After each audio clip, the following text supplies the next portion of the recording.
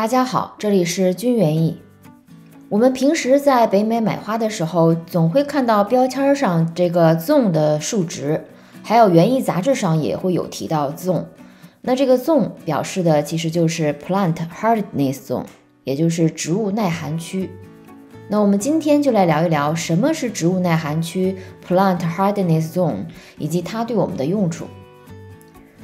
植物耐寒分区其实就是根据地理位置和气候条件，将一个区域内的植物根据它们对最低温度的耐受性和适应能力进行的分类和划分的一个系统。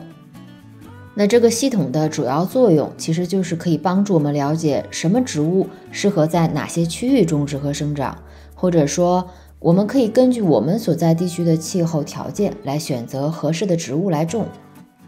那我生活在加拿大的尼亚加拉区域，分区是位于六 B，受到这个安大略湖和伊利湖的影响，这里在整个安省来说是相对比较暖和的地方，所以这里有很多的葡萄园，冰酒呢也是尤其的比较有名。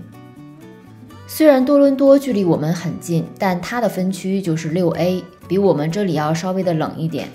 那北边的育空区呢，温度更是低，是位于零 B。或者是零 A，在这里数值越小，表示的就是温度越低。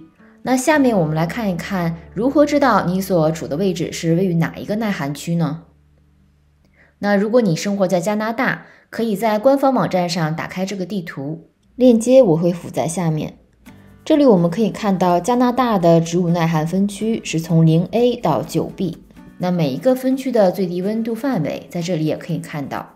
比如我所在的尼亚加拉区域是六 B，它的最低温度在冬季可以达到零下二十点六到零下十七点八摄氏度。那我们看看育空区这边，最低温度可以达到零下五十六点七到零下五十一点一摄氏度，真的是挺恐怖的哈。那多伦多处于六 A，它嗯，它的最低温度可以达到零下二十三点三到零下二十点六摄氏度。这里我们也可以看到一个规律，也就是每一个分区相差的温度大概是在三摄氏度左右。这里每一个分区的颜色和地图上的颜色也是对应的。比如说多伦多在地图上所处的位置是橘黄色，那我就可以到这边来找这个橘黄色所对应的区域，这里显示的就是六 A。你也可以在网站上直接录入你的城市来查看分区。那这里我们可以看到多伦多的分区是六 A。如果你生活在美国，可以到美国农业部 USDA 的网站上查看美国的植物耐寒分区。好了，现在我们知道了自己所处的耐寒区，买植物的时候就可以看一下这个标签上的 zone，比如说这个 Salvia，它上面写的是 zone 三到八。那在我这里室外过冬肯定就是没有问题的，所以在加拿大它会作为多年生植物来卖。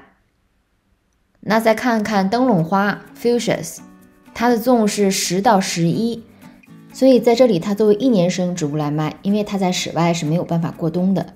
再比如我想看看石榴树在我这里能不能过冬呢？那我查一下石榴的耐寒区是七到十，那我这里是六 B。